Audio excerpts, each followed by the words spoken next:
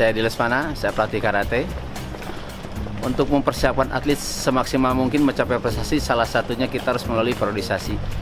Periodisasi adalah latihan yang panjang dipersiapkan untuk mencapai atlet semaksimal mungkin. Ada beberapa latihan periodisasi dan ada beberapa tahapan. Yang pertama, ada tiga masa periodisasi. Yang pertama adalah masa persiapan umum. Yang kedua, masa persiapan khusus.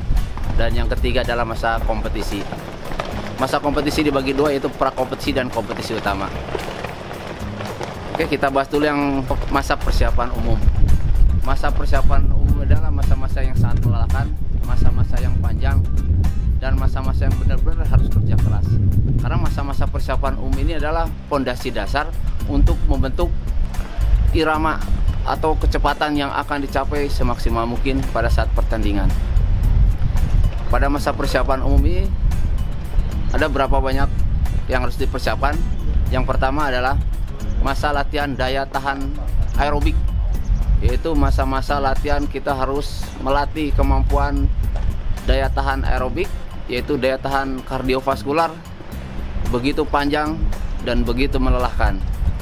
Yang kedua adalah masa latihan pembentukan otot atau strength endurance dan masa-masa latihan kekuatan latihan-latihan ini dibutuhkan pada saat latihan persiapan umum karena sebagai fondasi dasar untuk latihan fisik yang lebih dominan lagi pada saat menjelang latihan persiapan khusus. Persiapan khusus adalah persiapan di mana kita udah titik beratkan pada latihan-latihan yang spesifik terhadap kecabangan.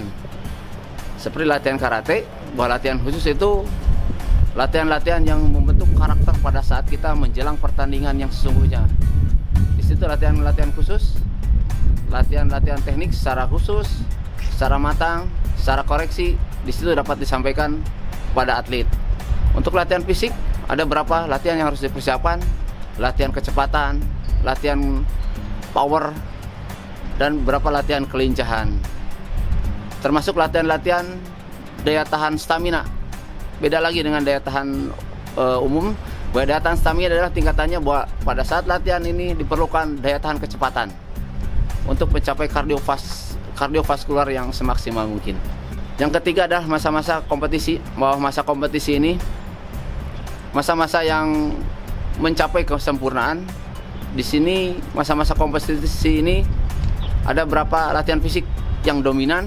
Salah satunya itu kelincahan, mobilitas, speed reaksi dan quickness masa-masa pertandingan ini betul-betul uh, sebagai tonggak bahwa kita untuk mencapai prestasi semaksimal mungkin.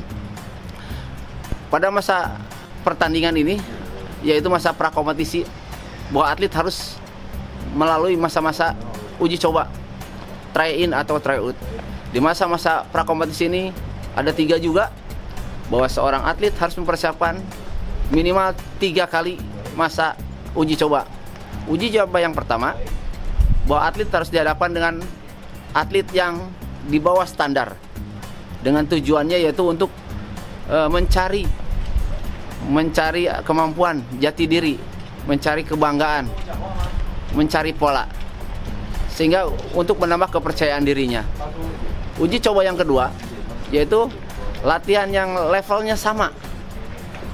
Agar si atlet bisa melaksanakan merasakan ketahanan kemampuannya dengan tujuan untuk mengkoreksi atau memperbaiki teknik-teknik yang telah diajarkan.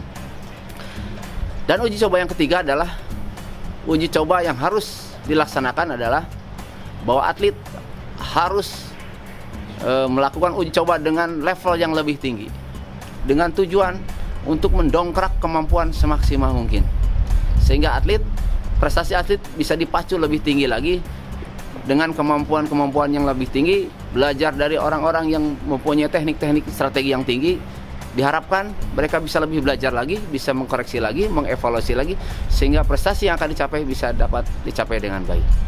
Terima kasih.